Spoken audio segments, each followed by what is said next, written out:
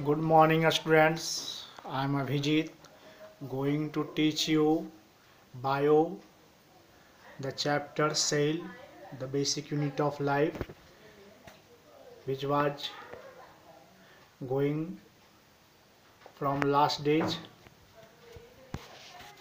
Last stage, we have discussed about the about many facts related with cell हम लोग cell के बारे में बहुत कुछ जान चुके हैं। What is cell and who discovered it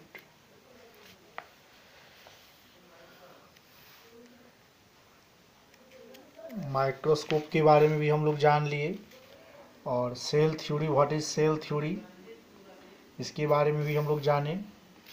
और लास्ट डे हम लोगों ने यूनिसेलुलर और मल्टी सेलुलर ऑर्गेनिज्म के बारे में जाना कि ऑर्गेनिज्म दो प्रकार के और इसके बाद हम लोगों ने सेल शेप की चर्चा की थी। What are the shapes of cell हम लोगों ने जाना था कि सेल्स हैव डिफरेंट शेप्स हर सेल अलग अलग शेप में होते हैं। कोई इलोंगेटेड होता है तो कोई स्फेरिकल होता है तो कोई स्पिंडल शेप्ड होता है। और इसके बाद हमने जाना था कि size of organism does not depend on the size of the cell बल्कि सेल ऑर्गेनिज्म का साइज़ सेल के साइज़ पर नहीं, बल्कि सेल के नंबर्स पे डिपेंड करता है, जितने अधिक सेल्स होंगे, उतना ही बड़ा साइज़ होगा ऑर्गेनिज्म का। और नंबर ऑफ़ सेल्स के आधार पे दो तरह के ऑर्गेनिज्म होते हैं यूनिसेलर ऑर्गेनिज्म और multi cellular organism last day हम लोग इन सब की चर्चा कर चुके थे। आज हम लोग जानेंगे type of cells they are two types of they are two types of cells prokaryotic and eukaryotic, पहला प्रोकैरियोटिक और दूसरा यूकैरियोटिक।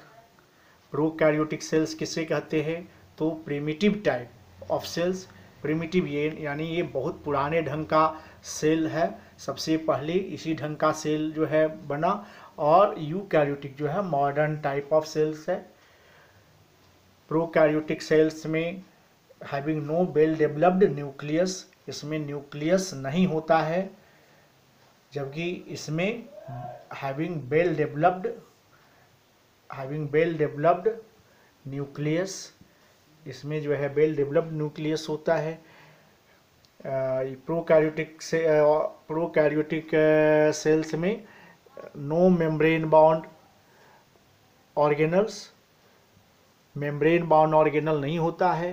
जबकि यूकैरियोटिक सेल में मेम्ब्रेन बाउंड ऑर्गेनल्स होता है। प्रोकैरियोटिक सेल जो है, बैक्टीरिया में पाया जाता है, जबकि यूकैरियोटिक सेल जो है, ये प्लांट और एनिमल्स में पाया जाता है। तो इन सारी चीज़ों को हम तो इस तरह से हम देखते हैं, दो तरह के सेल्स होते हैं, प्रोकैरियोटिक और यूकैरियोटिक। और इन दोनों में क्या डिफरेंसेज होता है, ये हमने जाना। यदि क्वेश्चन आया कि distinguish between pro prokaryotic cells and eu eukaryotic cells तो इन सबको हम कॉलम में लिख डालेंगे। तो अब लास्ट डे आपने जाना कि ऑर्गेनिज्म दो प्रकार के होते हैं। On the basis of number of cell number of cell के आधार पे। दो तरह के होते हैं unicellular organism and multi cellular organism यदि ऑर्गेनिज्म के पास केवल एक सेल होता है सिंगल सेल तो यूनिसेलुलर और यदि एक से ज़्यादा सेल होते हैं तो वो मल्टी सेलुलर कहलाता है। आज हम लोग ऑर्गेनिज्म का क्लासिफिकेशन टाइप ऑफ़ सेल्स के आधार पर करेंगे। On the basis of types of cells on the basis of types of cells on the basis of types of cell, there are two types of organism. कौन कौन सा? पहला prokaryotic organism और दूसरा यूकैरियोटिक ऑर्गेनिज्म प्रोकैरियोटिक ऑर्गेनिज्म जिसके पास prokaryotic cells होते हैं और यूकैरियोटिक ऑर्गेनिज्म जिसके पास यूकैरियोटिक सेल्स होते हैं। और आप जानते हैं कि प्रोकैरियोटिक सेल किसको कहते हैं और यूकैरियोटिक सेल किसको कहते हैं। तो प्रोकैरियोटिक ऑर्गेनिज्म का एग्ज़ाम्पल है बैक्टीरिया, क्योंकि बैक्टीरिया के पास प्रोकैरियोटिक सेल होता है और यूकैरियोटिक ऑर्गेनिज्म का एग्ज़ाम्पल है प्लांट्स और एंड एनिमल्स, क्योंकि प्लांट्स और एनिमल्स के जो सेल्स होते हैं वो यूकैरियोटिक सेल्स होते हैं। तो अब यदि क्वेश्चन आता है कि प्रोकैरियोटिक ऑर्गेनिज्म और यूकैरियोटिक ऑर्गेनिज्म को डिस्टिंग्विश कीजिए तो आप इसको कर सकते हैं। प्रोकैरियोटिक ऑर्गेनिज्म के सेल में न्यूक्लियस नहीं होता है मेम्ब्रेन बाउंड ऑर्गेनल्स नहीं होता है, जबकि यूकैरियोटिक ऑर्गेनिज्म के सेल्स में वेल डेवलप्ड न्यूक्लियस होता है, मेम्ब्रेन बाउंड स्ट्रक्चर्स होते हैं these are the differences between prokaryotic organism and eukaryotic organism और इस तरह से हमने जाना कि ऑर्गेनिज्म को हम टाइप ऑफ़ सेल के आधार पर भी दो भाग में बांट सकते हैं। और नंबर ऑफ़ सेल के आधार पर भी दो भाग में बांट सकते हैं, यूनिसेलुलर मल्टीसेलुलर ऑर्गेनिज्म और दूसरे तरह से prokaryotic organism and eukaryotic organism. अब हम लोग सेल के स्ट्रक्चर के बारे में जानें कि सेल का स्ट्रक्चर कैसा होता है। सेल का स्ट्रक्चर हम लोग अब पढ़ेंगे तो ये एक जनरल सेल जो है, इसी ढंग का हुआ करता है। टिपिकल स्ट्रक्चर ऑफ़ सेल तो इस सेल को हम तीन भागों में बांट सकते हैं। Cell can be divided into three zones study में सहूलियत के लिहाज से हम इसको तीन भाग में बांट सकते हैं और फिर बारी बारी से इन तीनों जोन को हम अलग अलग स्टडी करेंगे। पहला cell membrane and cell membrane या इसी को कहें प्लाज्मा मेम्ब्रेन सेल मेम्ब्रेन और प्लाज्मा दोनों एक ही चीज़ है and cell wall cell membrane सभी सेल्स में होते हैं, और सेल वाल केवल प्लांट सेल में होते हैं। सेल मेम्ब्रेन के बाहर एक एडिशनल लेयर होता है प्लांट सेल में, जिसको कि सेल वाल कहते हैं। तो ये दोनों मिलकर के एक जोन है। सबसे आउटर मोस्ट जोन है, और सबसे मिडिल जोन जो है, हर सेल के सबसे, के सेंटर में बीचों बीच में न्यूक्लियस होता है।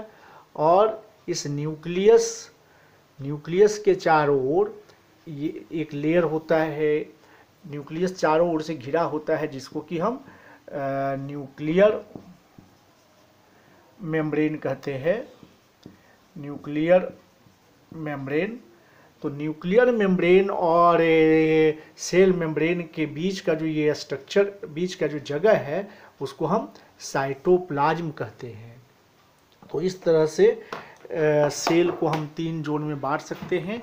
सबसे outer most zone cell membrane और इनर मोस्ट जोन जो है सेंट्रल जोन न्यूक्लियस और न्यूक्लियस का जो बाउंड्री है न्यूक्लियर मेम्ब्रेन और सेल मेम्ब्रेन के बीच का जो जोन है उसको हम साइटोप्लाज्म कहते हैं।